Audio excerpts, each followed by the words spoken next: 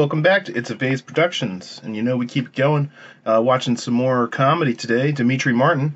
Like I said, I'm getting to the comedians that you request in the comments, so keep requesting comedians and I'll keep watching this stuff.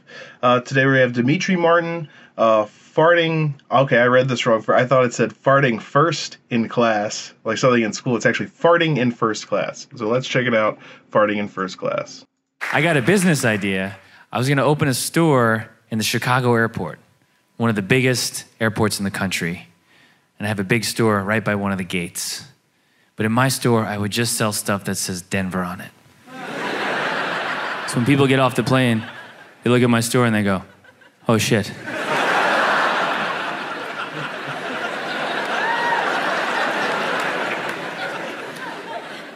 and if somebody came up to me and said, Excuse me, this is the Chicago airport. You're selling stuff that says Denver on it. I would go, Oh shit. I knew I rushed into this investment. Guess I'll just have to write not on everything. Where'd you get that sweatshirt? Not Denver, don't worry about it. I don't usually fly in first class, but I do fart in first class. Can I help you, sir? No, I'm cool. I'm gonna head back to my seat. Got a little lost. Sorry about that. smells like coach up here. I was having lunch with my friend. I said, Hey, what's your middle name? He said, I have two middle names. I said, Then you have no middle names. you have a space. yeah. We were having lunch and I went to treat him. I said, Hey, I got this. I'm gonna buy you lunch. And he said, Are you sure? Has anybody ever backed out at that point? hey man, I got this. Are you sure? I'm glad you brought that up. I was bluffing. I'm not sure at all. You called my bluff. I got no money. You want to just run for it? when I'm cleaning up my apartment, I feel like my dustpan is willing to help out, but just to a point. But like, all right, cool. It's just a little bit left here. And then the dustpan's like, I'm out right here. no, come on, dustpan. There's just dust left. I mean, you're called a dustpan. Let's just do this. I'm not picking that up. the hell you're not. We're going to go perpendicular. You're picking this up.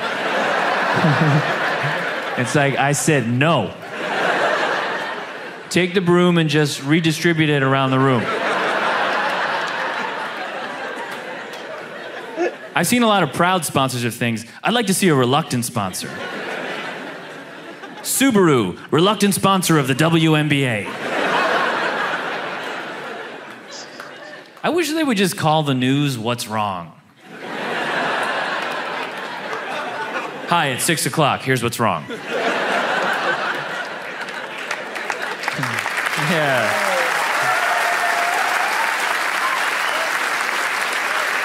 Now for the local news. Here's the worst shit that happened the closest to you. I wonder what the long form of okay is. What's okay short for? Is it okie dokie? That would be interesting. There are all these situations that would sound much more interesting. Are you okie dokie? I'm okie dokie, thank you. It's a close call. The surgeon comes out. She's gonna be okie dokie. Thank God, doctor. She's okie dokie, guys. Your behavior in this office is not okie dokie. You wanna fight somebody? Okie dokie, let's do this. Okie dokie, okie dokie, easy. Uh, he's really funny. Um, that was great. Definitely keep the suggestions coming in the comments. Uh, so far, I have not been suggested a comedian that I haven't at least heard of. Uh, so if someone could come along and surprise me, I'd never seen that clip. To be fair, I think that's one of his newer things. It said like three months ago. So Demetri Martin's still doing stuff. Um, yeah. But yeah, like I said, let me know in the comments if there's any other comedians I should be checking out, and I will check them out.